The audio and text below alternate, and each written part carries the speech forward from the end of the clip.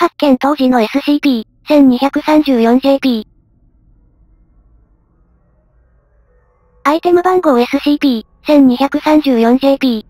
オブジェクトクラスユークリッド。特別収容プロトコル SCP-1234JP はオブジェクトを中心として建設された収容施設内部に収容されています。担当する職員には極端に偏った食生活を行っていない人物を当ててください。一人の被験者を用いて複数回にわたる実験を行う場合、必ず武装した職員1名が被験者に同伴するようにしてください。説明 SCP-1234JP は、県、市の山中に存在していたレストランの廃墟です。1900年の閉店以降、解体されることなく放置されていました。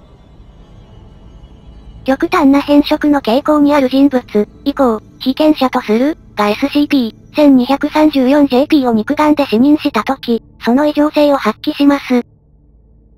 被験者は死認した後、次に入眠するときに閉店以前の SCP-1234JP と思われるレストランを夢に見ます。この時、現実世界と同様の五感を感じることが可能です。被験者がに入店すると20代男性と思われるウェイターが応対し、テーブルへと案内されます。その際に注文を取られることはありません。料理はおおむねフルコースの順番にのっとって運ばれてきます。この時振る舞われる料理は被験者の苦手とする食材を中心に作られますが、どの被験者もそれらの料理に対して肯定的な感情を持ち、完食することができます。食材や調理方法をウェイターに質問する試みは、話をそらされるという形で全て失敗に終わっています。なお、厨房への侵入は実験 1234JP、この1回を除きウェイターに引き止められる、強制的に退場させられるなどの理由から成功していません。インタビューログ 1234JP、5参照。料理を接触した被験者は目を覚ましていこう。現実世界においても苦手としていた食材を接触できるようになります。しかし現実世界の料理は夢の中で食べた味に劣ると考えるようになり、夢を見るために繰り返し SCP-1234JP を訪れようとします。再び死認するとその都度レストランの夢を見ることが可能となりますが、すでに変色を直している、という理由からに入店を拒否されるという結果になります。夢を見た後、被験者は好ましくない性格や態度が改善されます。これにより、相手が以前否定的な印象を持っていた人物であっても親しく接するようになります。このことについてインタビューを行ったところ、一様に、以前は苦手だったのに親しみを感じるようになった、といった内容を述べています。発見時、SCP、1234JP のもたらす夢を見ようと数名の一般人が毎日 SCP、1234JP の元を訪れており、影響を受けていなかった住民から不審者として幾度となく通報がなされていました。地方自治体からの複数回にわたる注意喚起、及びアクセスの悪さにもかかわらず不審者が絶えないことから財団の目に留まり、不審者への事情聴取から異常性が発覚しました。影響を受けていた一般人には記憶処理を施し、住民へはカバーストーリー、廃墟愛好家、オルフしました。県、市内では過去5年以内に失踪事件が7件発生しています。最初の事件発生時期と SCP-1234JP を繰り返し訪れる一般人が現れるようになった時期がほぼ一致するということから、現在事件と SCP-1234JP との関連性が調査されています。インタビューログ 1234JP。インタビューログ 1234JP。5では他の実験で確認されていない結果を報告しています。以降の実験において再現が困難であり、現段階では信憑性に欠けることに留意してください。対象 D19134。インタビュアー、博士。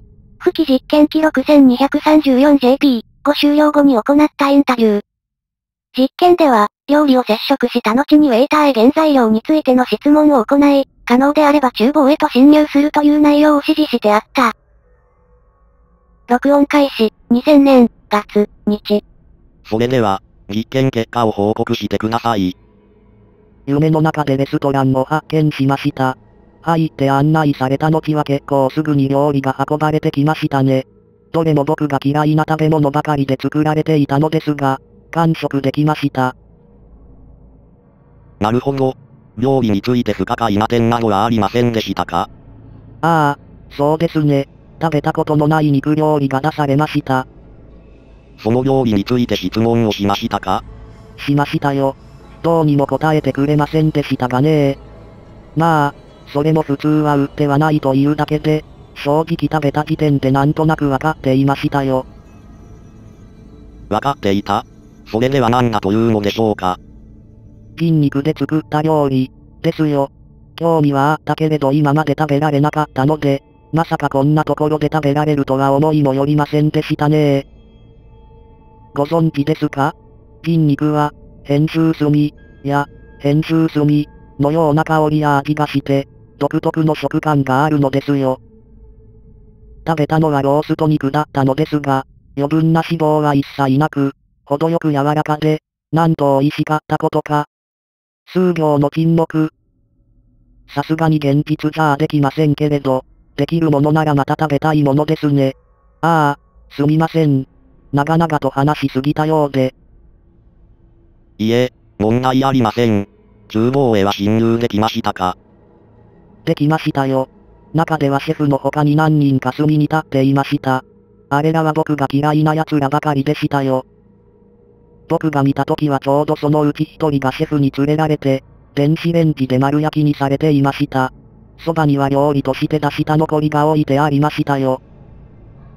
調理方法からして、僕が食べたのはそれでしょう。焦げた頭部も一緒に置いてありましたねあの首はあなたでしたよ、博士。